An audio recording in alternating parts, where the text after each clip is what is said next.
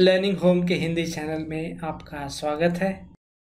इस ट्यूटोरियल में हम लोग बात करेंगे how to measure dimensions on the drawings using Adobe Acrobat Pro DC और यहाँ पे हमारा एग्जांपल है, एक शिप का एंकर ड्राइंग है और इसी को यूज़ करते हुए इस ट्यूटोरियल को डिमॉन्स्ट्रेट करेंगे। सबसे इम्पोर्टेंट बात जो मेज़रमेंट टूल की बात की जा रही है, वो आपके स्क्रीन पे यहाँ पे दिखेगा। यदि वो नहीं दिख रहा है तो आप क्या कर सकते हैं? टूल्स टैब में जाएँ और यहाँ पे मेजर काफ़ी ऑप्शन है, यहाँ से भी प्रेस करके आप इसे ला सकते हैं। और इसे आपको इधर ऐड करना है तो यहाँ पे भी ऐड कर सकते हैं। यहाँ पे देखिए मेरे लिए ऐड किया हुआ है तो आप यहाँ से भी आप इसको देख सकते हैं।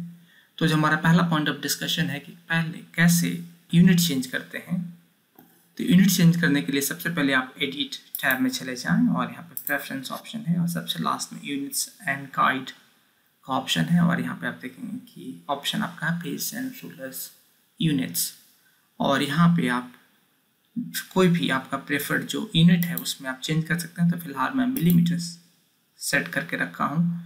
और इसमें कुछ और डायमेंशंस हैं लेआउट ग्रीड्स का, जो मैं ऐसे डिफ़ॉल्ट रहने देता हूँ और मैं इसे ओके करता हूँ। तो इसके थ्रू जो मेरा जो डिफ़ॉल्ट यूनिट सिस्टम है, वो मिलीमीटर हो है अब हम लोग यहाँ पे बात करेंगे कि कैसे मेज़रमेंट लेते हैं, जिसका डायमेंशन ड्राइंग में मार्क नहीं किया हुआ है। तो यहाँ पे देखेंगे कुछ कुछ डायमेंशन मार्क किया हुआ है कुछ कुछ डायमेंशन मार्क नहीं किया हुआ है।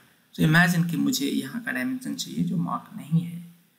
तो उसके लिए सबसे पहले आपको स्केल रेशियो चाहिए, जो फ़िलहाल इस ड्राइंग के लिए नहीं दिया हुआ है तो हम क्या करेंगे, उसे फाइंड आउट करने की कोशिश करेंगे। तो उसे फाइंड आउट करने के लिए हम कैसे पता कर सकते हैं कि यहाँ पे जो नोन डायमेंशन है, उसे एक डिफाइंड स्केल से कंपेयर करेंगे और उसके बाद फिर न्यू स्केल रेशियो डिफाइन करेंगे। हम क्या करते हैं कि चेंज स्केल रेशियो पहले सिलेक्ट करते हैं और यहाँ वन इज़ टू वन का रेशियो पुट करके इसे मेजर करते हैं। तो आप देखेंगे कि यहाँ पे डायमेंशन जो इसका है, वो 67.5 तो दिखा रहा है, परंतु जो एक्चुअल डायमेंशन है 488 है तो यहाँ पे एक स्केल है और वो है अराउंड 7.2 टू 7.4 तो फ़िलहाल मैं स्केल यहाँ पे चेंज करता हूँ। 7.2 टू 7.4 और मैं इसे ओके okay करता हूँ। और फिर से मैं इसे मेज़रमेंट यहाँ पे लेता हूँ। और देखेंगे कि अब डायमेंशन इसका सही है।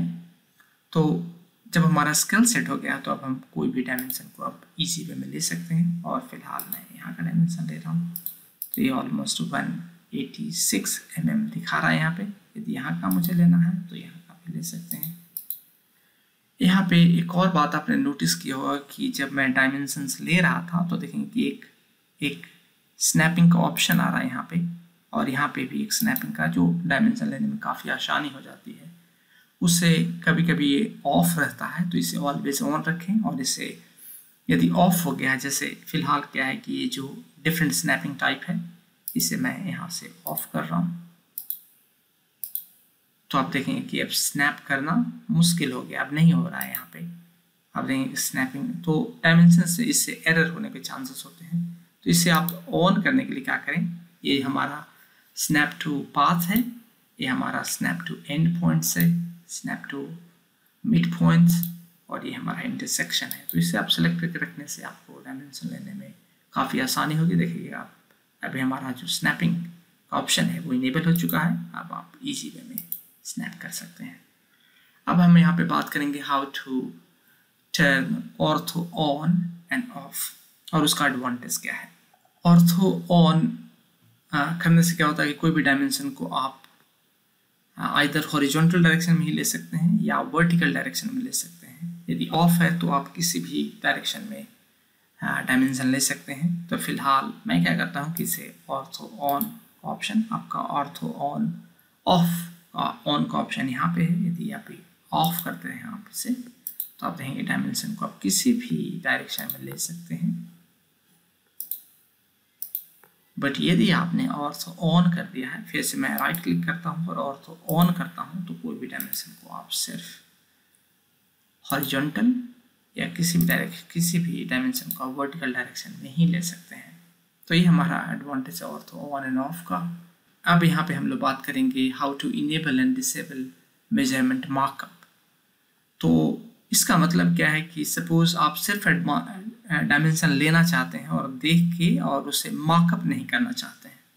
तो फ़िलहाल मैं क्या करता हूँ कि मैं इसे राइट क्लिक करता हूँ और डिसेबल मेज़रमेंट मार्कअप और इसके बाद देखेंगे कि फ़िलहाल मैं यहाँ पे एक डायमेंशन देखा कि 176 है बट ये मार्कअप नहीं होगा।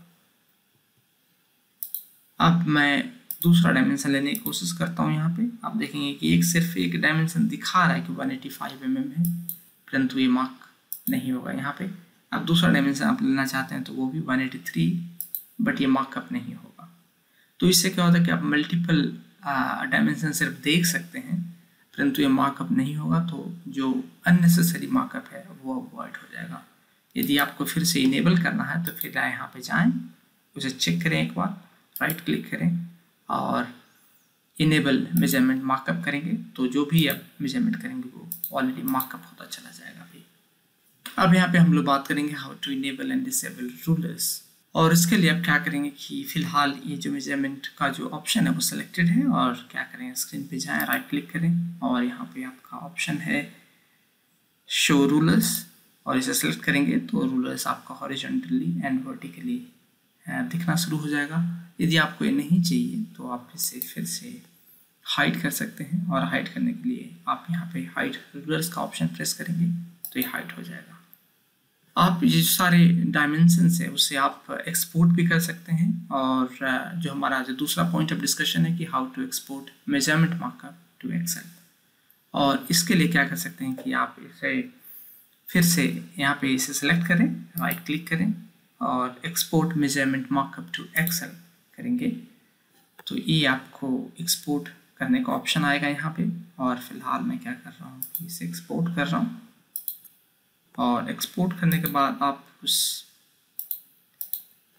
को देख सकते हैं और देखने के लिए आप क्या करेंगे, फिर से आप उस फोल्डर में जाए जहाँ पे सेव हुआ उसे ओपन करेंगे तो आप देखेंगे कि जो भी मैंने डायमेंशन यहाँ पे मार्क किया है, वो यहाँ पे दिख रहा है।